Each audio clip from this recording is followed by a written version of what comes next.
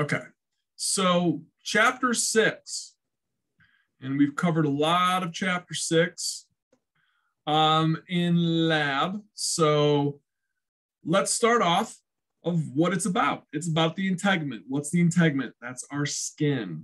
Fun fact the integument is the largest organ in the body. And just for your um, information, we are now going from this point on talk about organ systems of your body. So why not start with the largest organ system and let's talk about the skin. So you see that the skin makes up almost 10%, anywhere between 7 to 8% of your body weight.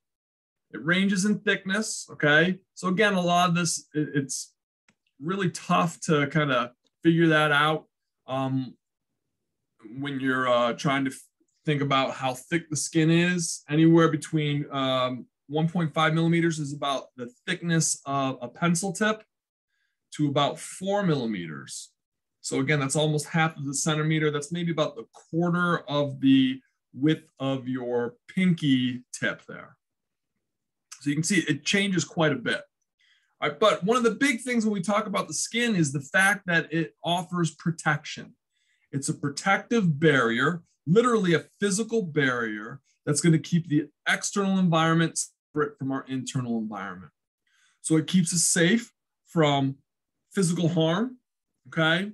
Trauma, right? If you get hit by something, right? Keeps out tons of pathogens like viruses, bacteria, parasites, certain chemicals, if it were to get onto the skin, right, with that it won't bother the skin as much as let's say if it got onto say the skeletal muscle or any of the internal organs there another big role uh, as we progress through this chapter and i've talked about it many times keeps us safe from solar radiation ultraviolet radiation that comes from the sun and so we see how we get protected by that um, later on in the chapter Another function of the skin, I feel like I missed, oh, dirt, I missed this slide. Come back to the functions here in a second, okay? So when we talk about the skin, okay, or the integumentary system, yes, we're gonna talk about the skin and all the components, and then also what we call the accessory uh, tissues. And that includes our nails, hair, our glands, right? So when we were talking about chapter five, the four different types of membranes, our second type of membrane that we were talking about is the cutaneous membrane. And that's a commonly used term. So I really urge you to know this. In fact, it's been asked on test questions too. And we'll use the skin all the time to tell the health of somebody. We've talked about how if they're jaundice, right? Or if you can see a lot of redness under the skin, right? So I do it all the time when I come out to greet patients in the waiting room. I'm doing uh, actual, I joke around and I call it an ocular pat down. So I'm assessing what this person looks like and what they're doing. For example, if they get up out of the chair and they have a hard time getting out of the chair, that tells me something. But the first thing I do is I look them over, not obvious, but I look them over as I'm greeting them and I'm assessing some of their health because the skin will tell you what's going on. All right, so back to our functions. Another function for the skin, and I, I want you to kind of keep an open mind here when we're going through these functions. A lot of these functions should look familiar to you because these same functions, or a lot of these functions, were the same functions for epithelial tissue. All right, so go, we already know some of the functions of the epithelial tissue, so that will help us when we're trying to remember the functions of the integument. All right, so another function for the integument is all right, prevention of water loss. Think of your skin, all right, we said it's a physical barrier, and yes, it's a physical barrier that prevents water from leaving your body, okay? And any water that does leave so leave your body does so by design.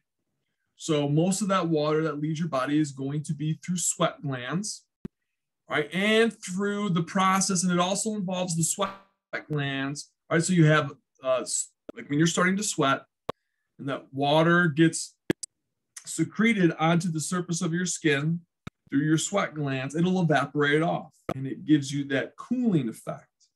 Well, from time to time, your sweat glands will release water vapor, right, during the process of what we call transpiration. And that's not an active sweat process. It's just a little bit of puff of water vapor will leave. So I've said it before, your, your, your skin is not waterproof as evidence of wrinkling of the skin when you've been in the water too much, but it is water resistant, which is important because it also helps to prevent dehydration. Dehydration can be a very bad thing, especially when you get burnt. Two things that uh, the medical staff are concerned about for folks that have significant burns on their body. One is dehydration.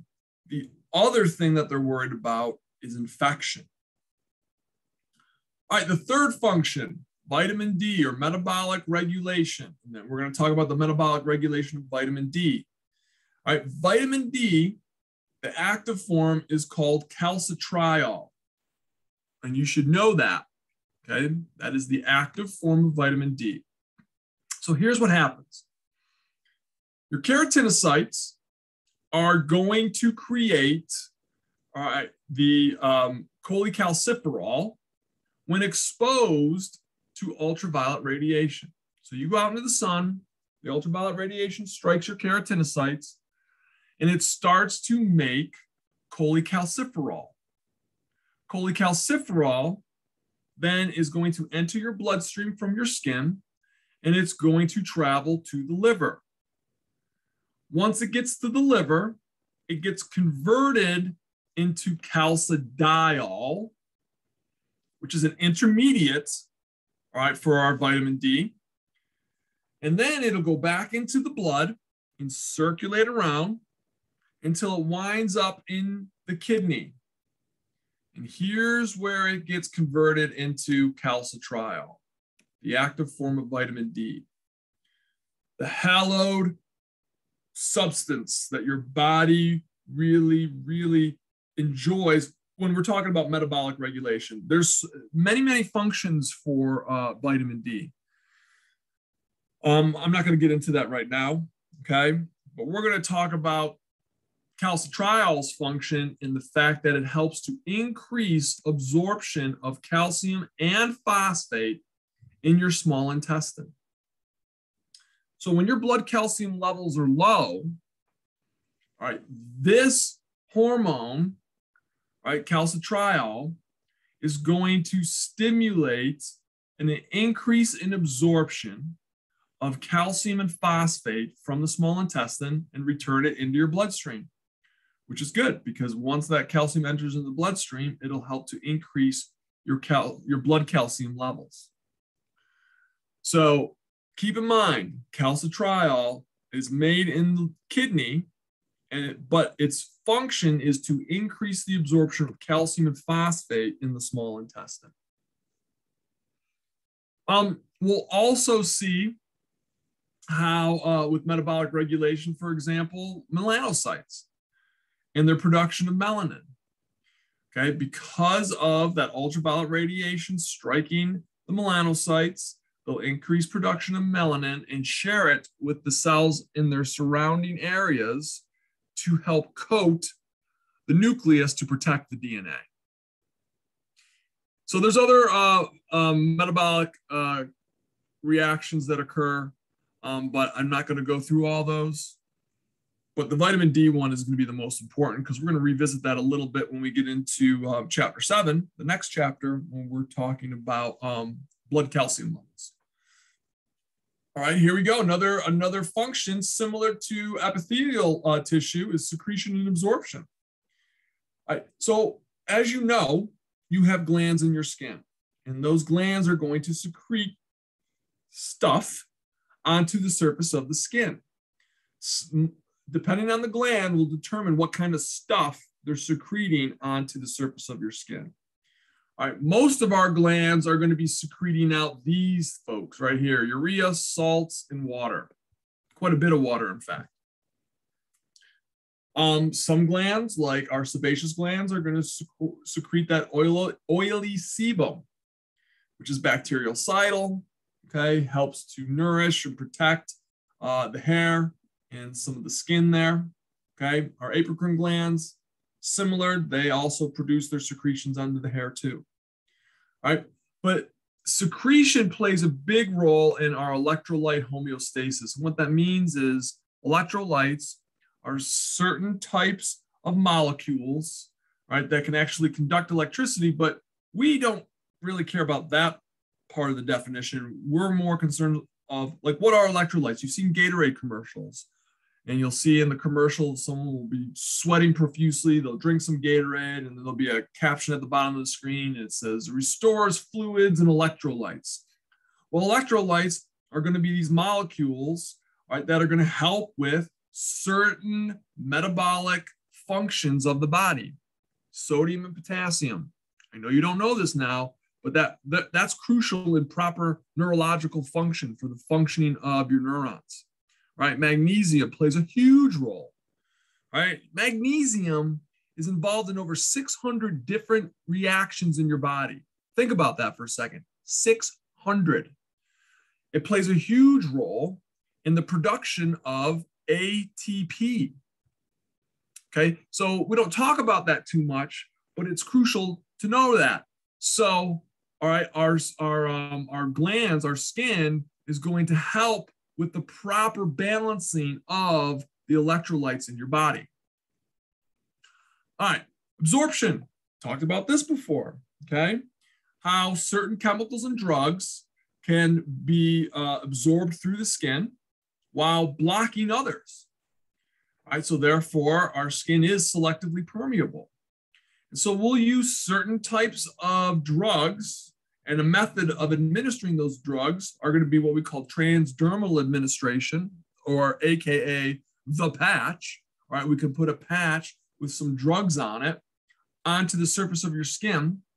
And those drugs, right, will be absorbed through the skin and to the underlying blood vessels found in the dermis there.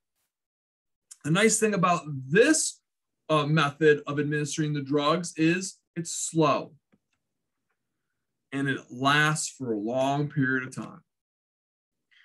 In certain cases, if you don't want to overwhelm the patients with too much drugs, you use this method. Immune function, we talked about immune function before with our dendritic cells. All right, those are the cells that were found in the stratum spinosum and the stratum granulosum in our epidermis. All right, and these are the cells that if they come in contact with abnormal cell growth or some sort of some sort of pathogen like a virus or a bacteria, it'll initiate an immune response. And so it will help with the destruction of these infectious agents. So big, big time. And I know I mentioned this before, but it's worth repeating, right? It's these cells that are the early warning detection system for cancer. Because, uh, like I said, some of you might even have cancerous cells in your skin right now as we're speaking. But it's these dendritic cells that monitor that, come across these cancer cells, or when they're uh, precancerous, okay, when they're metaplastic, and bam, they get destroyed. Temperature regulation, okay, again, because of the blood vessels that are present in your skin and the sweat glands here, we see how that works. What happens when you're hot? You start to sweat, you perspire, the water evaporates off your body, giving you a cooling effect. The blood, all right, that is in your body will travel to the capillaries and blood vessels in your skin closer to the surface of the skin so they can release heat to cool you down. Those blood vessels can um, be manipulated through, with the smooth muscle that are in the blood vessels. And it can, and um, what will happen is if we want to control how much blood comes to the skin and how little, right? What we can do is change the diameter of those blood vessels. For example, we have vasodilation. Vasodilation increases blood flow to the skin, therefore, we can release the heat. So that's what occurs when you get warm. Um, vasoconstriction will shunt the blood away from the skin and keep it more towards the internal uh, portion of your body, around your abdomen and your internal organs. And we see that when you get cold. And then finally, we got our sensory reception. Remember what I said before? I know I've mentioned this before. A lot of sensory receptors are found in your skin. So it's this input that goes to your central nervous system, your control center, to help us, all right, to get constant feedback of the external environment, and even in some cases, the internal environment. And so you can see we have thermal receptors there for heat and cold. We've got tactile receptors for touch, pressure, vibration. We have pain receptors there. Okay. So we have quite a bit. And so it's crucial that we have a decent understanding of all that. All right, let's talk about a quick review here, the layers of the integument. Okay, a couple important facts here when we're talking about the epidermis. It is made up of epithelium, specifically stratified squamous epithelium. In the dermis, all right, the deeper layer there, all right, that's the layer that has all the stuff primarily the majority of it is going to be when we're talking about tissue content it's going to be dense irregular connective tissue. All right we have all the other tissue types there too all right but primarily the dermis is going to be made up of dense irregular connective tissue which is good because that's going to give our skin both its resiliency because of all the collagen fibers there and it'll give it its flexibility or or what we call pliability because of all the elastic fibers there too. Then we've got a layer of tissue below the skin, the integument, the dermis there. That's the subcutaneous layer or the hypodermis. Okay, important fact, you may be asked this, not a part of the integumentary system. All right, it is made up of adipose and areolar connective tissue. I don't know why this is here. I don't like that. Give me one second.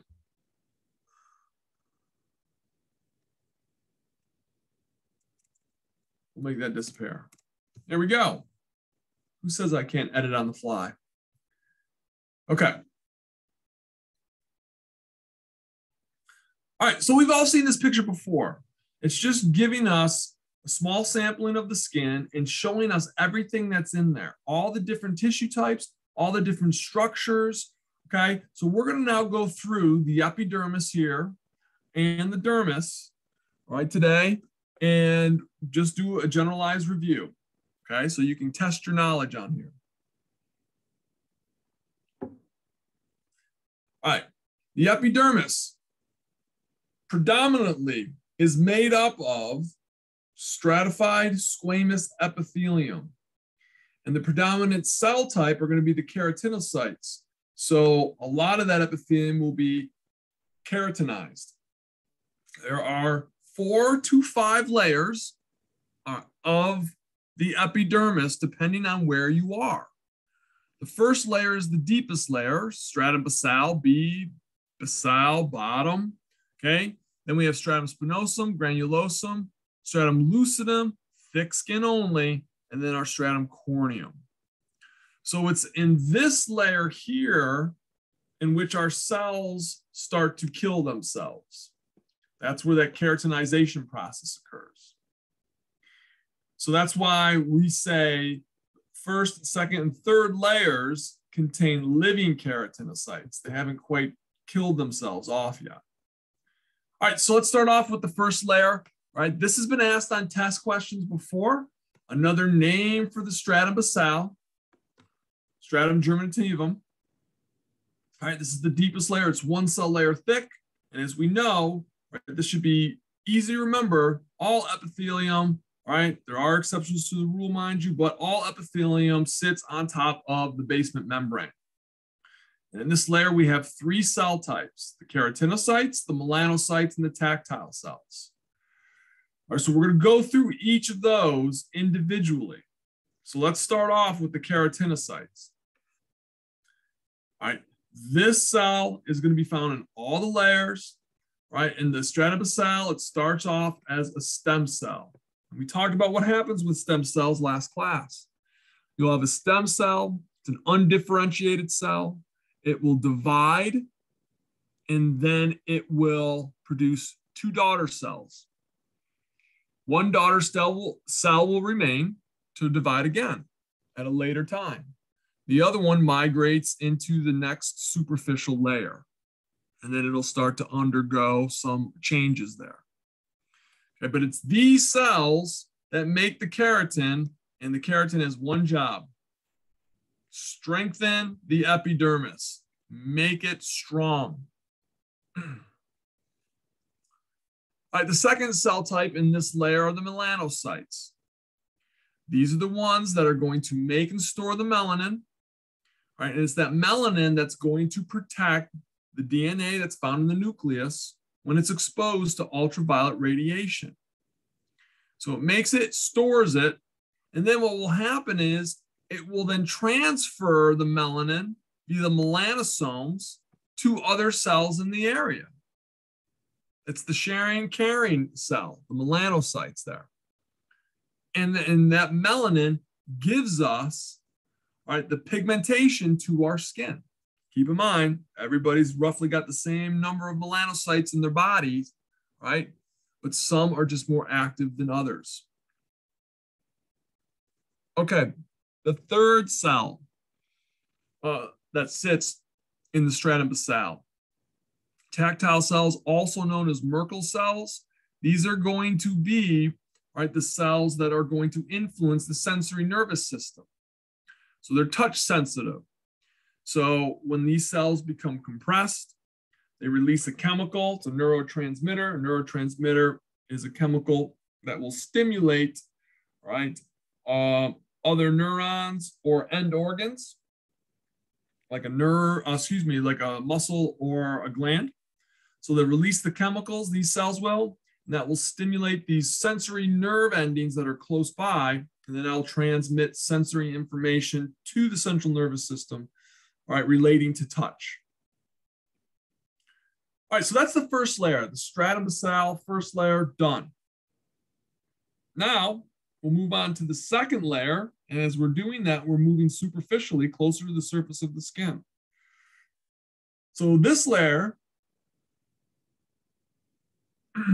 the stratum spinosum, this layer just received its fresh, brand new daughter keratinocyte. And so what will happen in this layer is the cell will start to form these relationships right? These adhesions with the neighboring keratinocytes. Because soon these cells are going to start to produce the keratin. But right now, the cells are going to start to tightly pack themselves against one another, form these intercellular junctions, right, to help make the epidermis stronger. And then when they start to produce the keratin, they're going to make the epidermis even stronger. In this layer, we're also going to find our immune cells, the Langerhans cells, our dendritic cells. And so they're, again, like I said before, they're going to attack cancerous cells. And if they come across any pathogens, they can initiate the immune response. And so if they do come across a pathogen, they'll gobble it up like Pac-Man. All right, our third layer, the stratum granulosum. Not a very thick layer, only about three to five cell layers thick, but it's important that you know that this is where we start and begin. It's the beginning of the end, they say. This is where we begin our keratinization, the killing of the cell. These cells start to fill up with keratin, and as they do, it destroys the organelles and the nucleus. And when that occurs, the cell is dead. The fourth layer, which is only found in blank skin, and thick skin, okay, and there's only two places. And some of you may have gotten a test question on that on the lab. So I'm glad that I said that like 30 times. Okay. So you're going to find, and I'm sure some of you um, were like, ah, I remember Dr. Koz saying that to me 10 times. Only two places palms of your hands and the soles of your feet. This layer also does help assist right, in protection from ultraviolet radiation. All right, and finally, the last layer, the outermost layer, the stratum corneum. Okay, this is going to be the thickest layer. All right, anywhere between 20 to 30 cell layers thick. This is where we find our keratinized cells, which means they're all dead. They're all intertwined, locked together, creating an awesome barrier to keep stuff out and to keep stuff in. And so when we look at this layer, and uh, in fact, you look at it all the time when you're looking at yourself in the mirror, okay, when you're looking at other people, right? This layer, the outside, right, is going to be dry, which is awesome because that makes it an unsuitable environment for a lot of microorganisms. Fungus loves moist, damp areas. While stratum corneum is not that. So if you're getting a fungal infection, something's up, okay? Because it's already an inhospitable, all right, environment for certain fungi, okay? But this thick and dry surface allows for the protective function, all right, of our um, epidermis because one, it prevents uh, pathogens from getting in because for infection. And if you happen to brush by something, all right, like uh, I don't know, a piece of wood that has some rough edges on it, because it's thickened, it won't rip you right open. So because all the cells are dead, right, we will not see any nuclei present there. And so it takes about two weeks for the cells to get into this layer. When they make it into that layer, they're going to hang out there for about another two weeks. So your skin is constantly rolling over, all right, every month. Every month. And it varies because some areas of your skin are going to turn over quicker because some is thin, some is thick. Depends on what type of stresses are going on. Okay. So I don't want you to think you're like a snake that every month you have a brand new, uh, uh, you know, skin suit on. It doesn't work like that. Okay, so here you can see, all right, our micrograph here, and then our drawing of all the different layers. So you can see how thick, how much stratum corneum is present here in this skin. So this is most likely going to be, all right, a thicker area here. Again, I can't tell if that's thick or thin skin because I can't see if there's nuclei present. All right. All right. I know I talked about this a little bit in lab, but I might as well kind of review it here now and talk about some of the variations that we're going to see in the epidermis before I move on to the dermis. So the variations that we're going to talk about are going to include the thickness, color, and skin markings. So thick skin and thin skin. We know where thick skin is found, okay? Palms of your hands, soles of your feet. It will contain all five layers of the epidermal strata. And yes, we'll have sweat glands, but again, we know a little bit more now in this chapter about the other types of glands. And we know that sebaceous glands and apocrine glands are going to be found around hair follicles because they both secrete their secretions onto the hair follicle. So if there's no hair or hair follicle, you're not going to have apocrine or uh, sebaceous glands. So that's what we're going to see here. No sebaceous glands because no hair follicles in thick skin. But in thin skin, we have sweat glands, we have hair follicles, so therefore we have sebaceous glands. Thin skin is found all over the place, but we don't have the stratum lucidum. Say goodbye. That's only in thick skin. All right, here's a nice picture depicting the difference between thin and thick skin.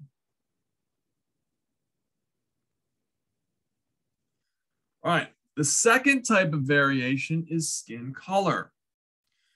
So we're going to talk about these three items that play a role in skin color. Hemoglobin, the oxygen carrying protein that we find in our blood. Melanin, we've already discussed that briefly, and keratin. You like carrots, you'll like keratin. All right, so it's the hemoglobin when oxidated, when there's oxygen bound to the hemoglobin that gives our blood its red coloration. So, folks that are fair skinned, you'll be able to see, all right, especially if there's an increased blood flow to certain areas, right, you'll be able to see that red tint in their skin a little bit easier than folks that have a darker skin complexion. Right, we've already talked about melanin, so keep in mind, right, melanin is going to be produced, all right. Um, let me backtrack that. Melanin, all right, is produced by the melanocytes. It's stimulated to be produced by ultraviolet radiation, but you'll notice that some folks have darker color skin than others. And again, a lot of that is not just the ultraviolet radiation, but also our genes, our genetics, hereditary, okay, meaning mom and dad, okay? If you don't have the gene somewhere, well, I'm I don't want to get into genetics right now. I was going to throw out some hair color uh, stuff, but let's not get into that. All right, albino. Yeah, yes, I got a question. So melanin is the pigment, and melanocytes created for correct. Yes, melanin is the name of the pigment. The melanocytes make it, and one of the things that stimulate the melanocytes to make the melanin is going to be ultraviolet radiation, sunlight. But also, your genes play a role in that too. They'll stimulate the production of melanin also. Okay, so that's why with some folks, all right, that have albinoism, right, their melanocytes don't make melanin. And we're going to talk about that in a moment here um, when we're talking about hair color. Probably not today, okay, because it's melanin that gives your hair its color. So someone that it's a true albino, right, will have white hair because there's no melanin in the hair. And then finally, we have carotene. Okay. When you take it in, it gets converted into vitamin A, which is very, very helpful. Trust me. Okay. Because vitamin A is used for vision. All right. And it helps. This is huge. And we don't talk about it enough. And I won't talk about it too much now but it helps to reduce these structures called free radicals. I don't think I've ever talked to you folks about free radicals. And so here's the best way that I can describe a free radical to you. Right? I'm hoping that you all know what a yo-yo is. Okay. It's a hard plastic uh, toy that's attached to a, a string. So here's what a free radical is. It's a molecule that has one single electron in its valence shell. And so imagine a little boy or girl, you know, I'm not going to be biased, okay, a boy or a girl that goes into, all right, a, uh, um, a glass shop. They have glass plates, nice, beautiful uh, crystal glasses, and they take their, and they have a yo-yo, and they swing that yo-yo around above their head. And they just start running into things with that yo-yo and smashing stuff. That's what a free radical does to your body. Okay. It wanders around swinging that out that electron and it just rips through stuff. And that's what they do. But vitamin A helps to reduce free radicals. Vitamin C helps to reduce free radicals. So there's my explanation for free radicals. All right. And also it plays a role in immune function, which is very helpful. All right, so here's a picture of our melanocyte producing the melanin and then sticking it into the melanosomes and sharing it with its neighboring cells. All right, the last um, type of um, variations for the skin that I want to talk about are skin markings. And so here's a couple different types of skin markings that I've talked about. We've got our nevus, or what we call a mole, which is a benign growth of tissue, which will usually be darker tinted. But depending on where it's located, if it receives excessive ultraviolet radiation over the course of several many years, that's why in older folks, they go to the dermatologist to have their moles checked, okay? But this nevus is going to be, you know, a, a darker color because of all the melanocytes. And that excessive ultraviolet radiation, we have to keep an eye on it because it could uh, change from a benign tissue to a malignant tissue. And then that's when you have to go and have uh, surgery to have it cut out.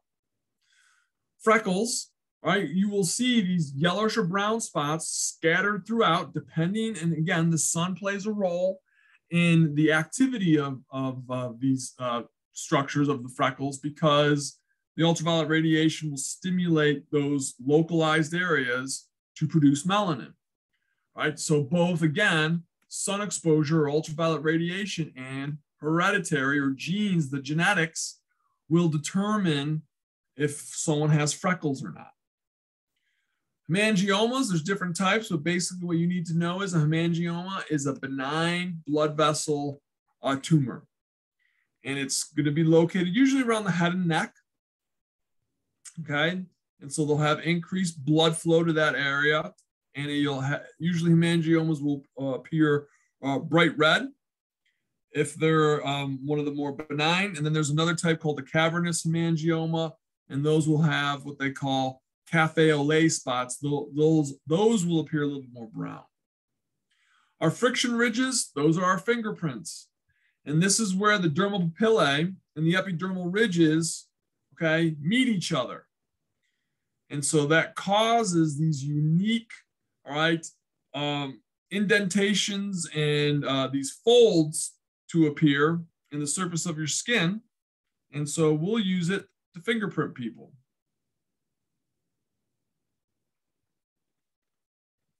All right, let's get into the dermis here.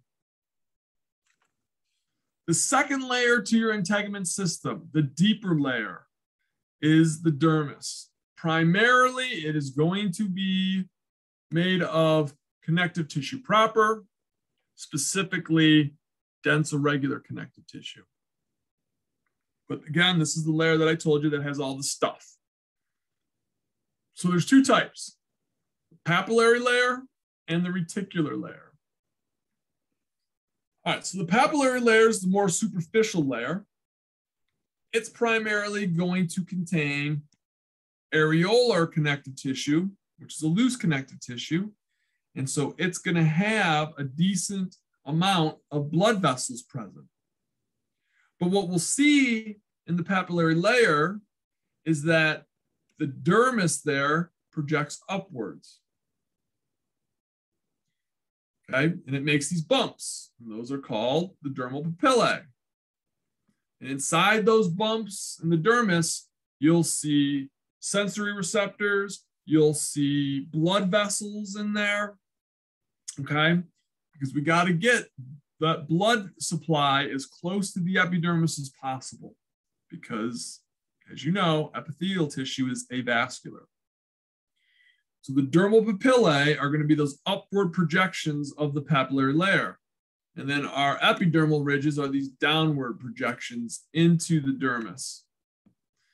And so they lock in with one another. And so that allows for a stronger connection between those layers there. So the deeper layer is the reticular layer. And this is that layer that is primarily made up of the dense irregular connective tissue. So here you can kind of see and appreciate, right, the interaction between the epidermal ridges and the dermal papillae there.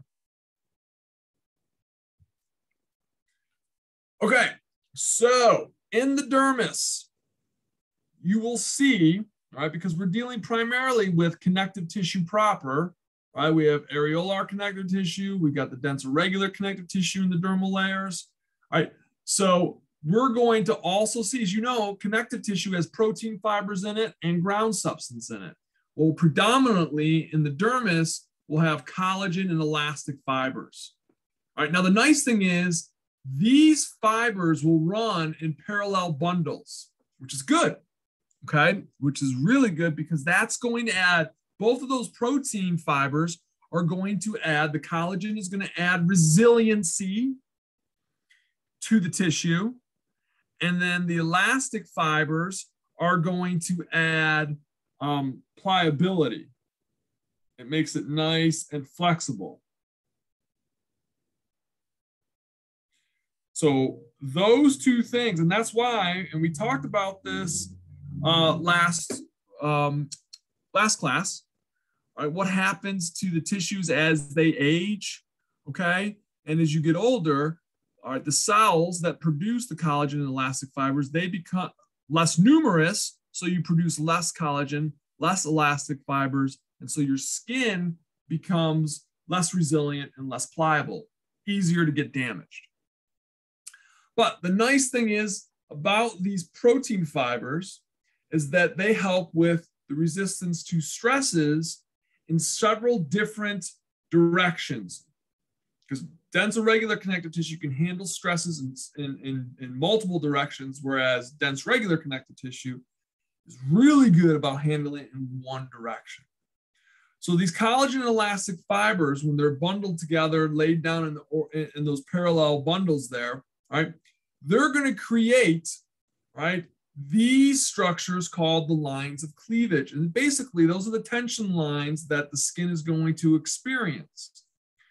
And so, if you were to ever get a cut or an incision, right, in the skin, ideally, you want those cuts or incisions to be parallel to the lines of cleavage because that helps with improving the healing time in situations where those injuries are perpendicular to the lines of cleavage, right?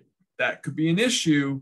And so that takes longer to heal, and most likely there'll be uh, an increase in scar tissue. And we're going to talk about near the end of this chapter um, a little bit more about scar tissue. So, in some cases, right, you've probably seen maybe somewhere on your body where you have stretch marks.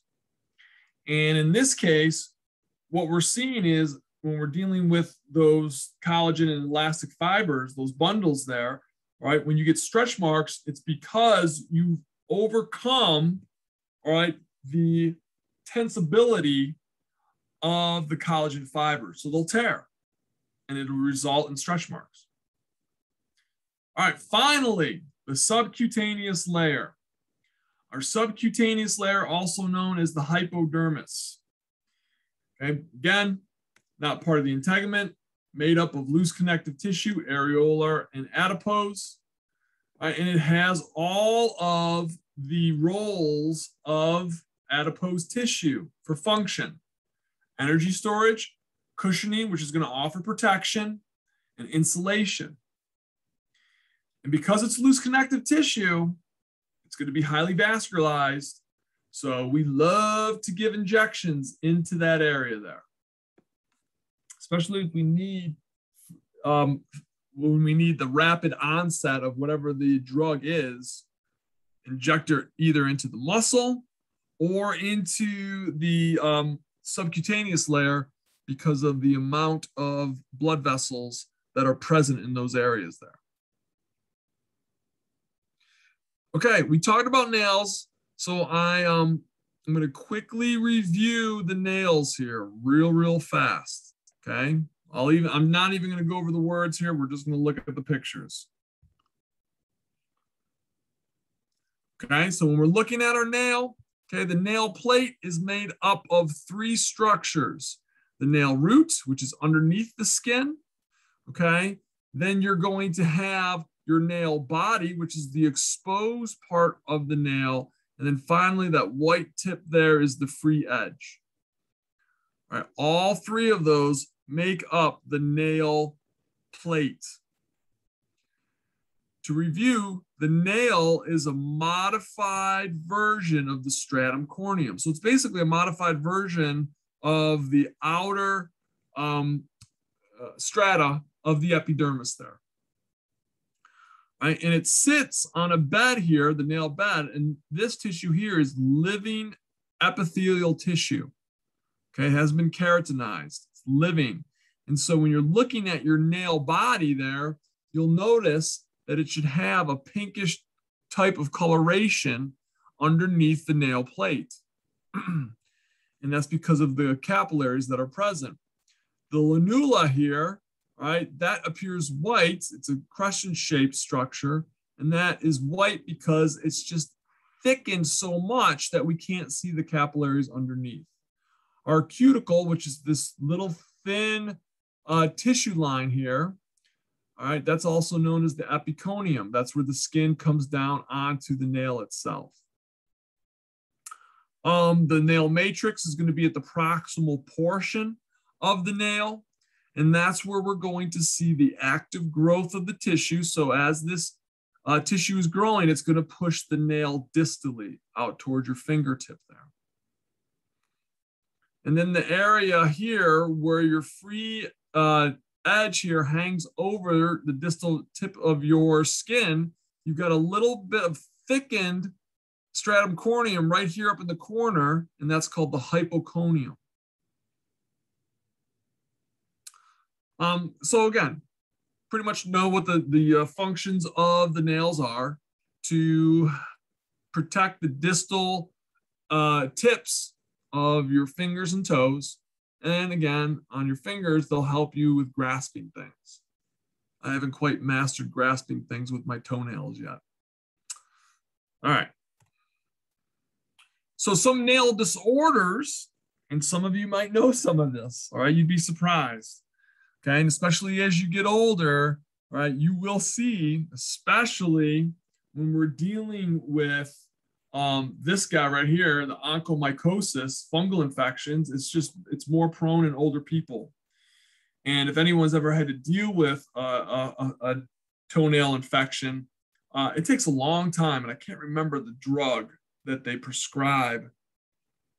Um, it's an oral drug. You can also get drugs that you can actually place on the nail directly, but it's like six months that you have to take this stuff. All right, so a lot of healthcare professionals love to use uh, nail appearance as a way to help them understand the overall health of an individual. Believe it or not, it's a great way. I told you the capillary refill test. I think it was this section, right? If you want to see, all right, just got to get a quick idea of how well somebody's circulatory system is is operating. You just pinch their nail, not hard to hurt them. You press down on it for like five, ten seconds, release it, and, and initially, when you release it, it'll appear white, and then it'll start to turn uh, back to its pinkish color. Okay. If it takes over 10 seconds to return to its pinkish color, then you should start suspecting something. But it should almost immediately refill and turn pink once you move, once you relieve the pressure there. All right. Brittle nails, seeing this all the time right? In which, and I, I'm not sure if it was in this class or in another class where somebody asked me about their nails, uh, not theirs specifically, quote unquote, asking for a friend type of thing. Um, but they said that they were there was a separation in between some of the layers of the nail plate, and that can happen. Right? A lot of time that's going to be a result of malnourishment or malnutrition right? And you can actually get the nail to just split right up through the middle there.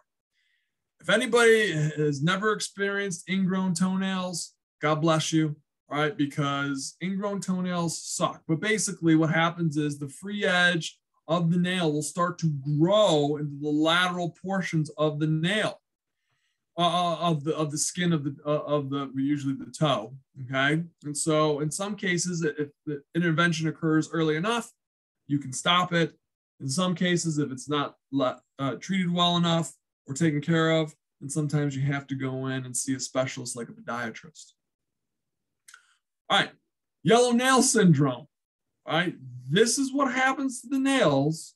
All right, when we see both a decrease in growth and the thickening of the nails. Now, again, that's another malnourishment, malnutrition situation.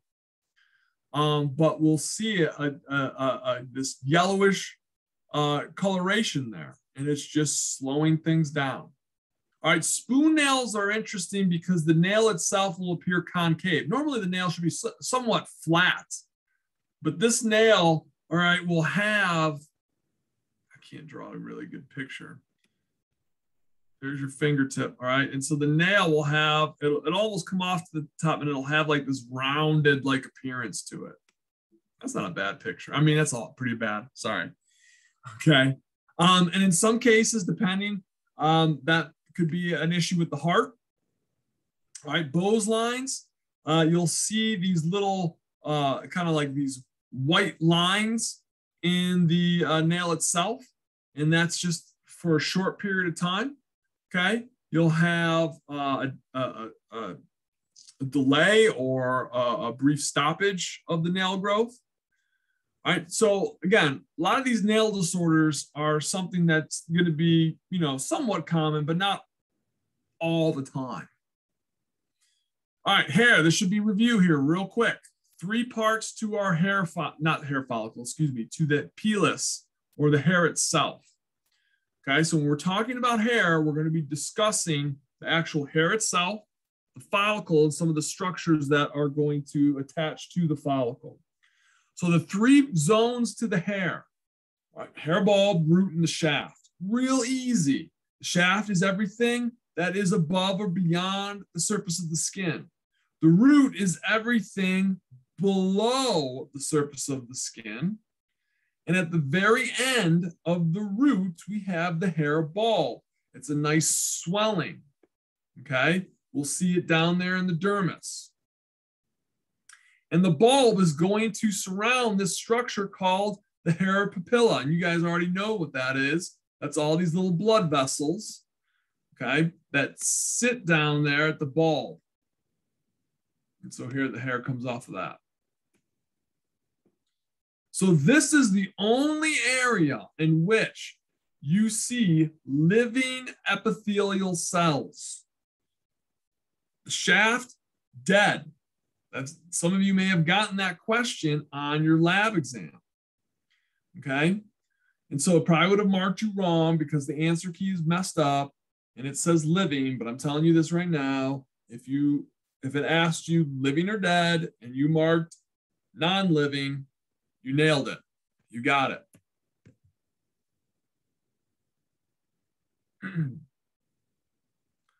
okay. Hair components. Hair components. So now we talk about the zones of the hair. Now let's talk about the different layers of the hair. You have the hair matrix, the medulla, the cortex, and the cuticle. Yeah, it's fine because even and I'll even if you got it wrong, I corrected it. Okay, because the um the exam um the exam the the the review exam was wrong, and I don't know why we it's not been changed. So if you had that on your exam, there's no way that you're getting it wrong. Trust me. All right, hair components, the matrix. This is where we see cellular division occurring. Okay, so the new cells are going to push superficially up towards the surface of the skin, right? We see it right at the base of the bulb. And keep in mind, we saw the nail matrix. That's the area of the nail that was actively growing. The hair matrix is the area where we see active division of cells for the growth of the hair. Now, when we talk about the thickness of the hair, right, at the very center of the hair is the medulla. Right, that is going to be made up of soft keratin, so it'll be flexible. The cortex surrounds the medulla, and so that's going to be harder, right? And the cells that are found in that area are going to look squamous like or flattened. And then we have one single cell layer that surrounds the cortex, and we call that the cuticle. So I'll show you those real quick. There you go. Okay, so the center is the medulla. All right, that tan portion that surrounds the medulla, that is the cortex. And then we have that one thin layer, which is the cuticle. And so that's what we see when we're looking at each other. All right, so when you're seeing people's hair, you're looking at the cuticle. And then what surrounds our hair, okay, is the follicle. That's your pant leg. Your leg is the hair, pants are going to be the follicle. And it surrounds the hair root. And so in some cases, we'll see it in the dermis and even sometimes down in the subcutaneous layer. So our hair follicle, all right, has an outer covering, which is going to be made up of connective tissue. And then the inner layer of it is going to be made up of epithelial tissue. So this is an important thing. And again, if you were going to take an embryology course and learn about the development of the baby, okay, and, and you have and you will learn about where certain tissues come from, okay, this is one of those situations in which we'll see a structure, right, and parts of the structure came from two different types of tissues, right? So the outer layer, right, it came from this, the connective tissue came from the dermis. The inner layer came from the epidermis. And then we got a muscle that attaches onto the hair follicle. That's made of smooth muscle, which means we don't control it. It's involuntary. And it's this muscle, when it contracts, it gives you goosebumps. It pulls on the hair and it causes the hair to elevate. And we'll see that when we're trying to retain heat or in a situation where you have a, a sympathetic nervous system reaction to something. It could be excitement, fight or flight, that kind of thing. All right, some of the functions of hair, protection, facial expression, heat retention, sensory reception, visual identification, chemical signal dispersal. I've discussed all that, okay? Keep in mind, all right, protection, for example, ultraviolet radiation, right? The hair protects your head. Facial expression, again, if someone uh, is confused, they may elevate an eyebrow, and the hair helps to uh, uh, read those expressions. Okay, heat retention, just talking about goosebumps, right? The goosebumps help to elevate the hair, helps to trap heat against the skin, keep you warm. Also, hair on the top of your head keeps your hair warm, especially in the wintertime. All right, sensory reception, right? Wind blows, moves your hair, moves the hair on your arms. You can tell, you get that, that touch sensation. You're in tune and you know what's going on in the external environment. Visual identification, okay? Tell the age of somebody by looking at the color of their hair, right? Young people tend not to have gray or white hair unless there's some other issue going on. All right, and then our chemical signal dispersal for pheromones. All right, again, certain glands start to become active in puberty. They uh, release their secretions onto the hair, and then it gets dispersed into the air. Okay, cool. Almost done. I'm just going to finish up with hair and then we'll be done for the day. All right, so hair loss. It's a natural thing. It happens to everybody. And when I say hair loss, I'm not talking about like when you go bald or anything like that. I'm just talking about hair will fall out of your body. Okay. On average, about 10 to 100 a day. Okay. And in some cases, if you lived in my house, you would think it's more because I feel like all the ladies in my house are shedding. Right. But when you get the actual thinning of hair, all right, and like I said that before, the aging effect on certain tissues, hair will thin, or we call that alopecia. That's normal as we get older. Hair follicles just produce thinner hairs, right? And in some cases, right, we'll see diffuse hair loss, right? Well, you'll see it from parts of the scalp. Now, you will see this, and I've seen this before in patients, okay? And many of them are women, right, where they'll have a considerable amount of hair, right, that is no longer well, that, that they've lost from their scalp. And so their scalp will appear to be the, the, the consistency of the hair there it'll just seem to have thinned out. Now, this happens quite a bit in, in, in, in some women. Yes, absolutely. Absolutely. And, and, and Christina, you'll see one of those reasons for that is hormones. Okay. You're getting a change in hormones. Yep. Yeah. And so, and you'll even see that in uh, postmenopausal uh, women. But believe it or not, certain drugs, that's a big one. If it's a young person that has not been pregnant, all right, and they're getting diffuse hair loss, it's either going to be some sort of drug that they're on. I'm not saying illegal drugs, but it's either going to be a result of the drugs or there's going to be some sort of deficiency going on in their diet. Iron deficiency um, is going, it can be one of the causes for d- diffuse hair loss. All right, we're all familiar with male, male pattern baldness. Right, the crown um, is the top portion of the scalp there. So you'll see uh, those folks will lose their hair first on that area. Again, hormones play a big role in that. And of course, genetics, unfortunately. Um, hirsutism is interesting. Male pattern uh, hairiness, uh, that will occur in women, and especially it can happen in women that get um, polycystic ovarian syndrome. And uh, for whatever reason, again, when you see hirsutism in, in, in, in women, I knew a, a young lady a long time ago when I was in my 20s, when I was living in Long Island, who had hirsutism. And to help deal with that, all right, she took birth control. And it helped to regulate her hormones and it helped to regulate her hirsutism because the hirsutism, she was dealing with excessive androgen production. And that's what can happen with folks that have hirsutism. Androgens are going to be those male uh, sex hormones. All right, let's stop here. Okay, take a few minutes uh, break early. Let's stop here. And what we'll do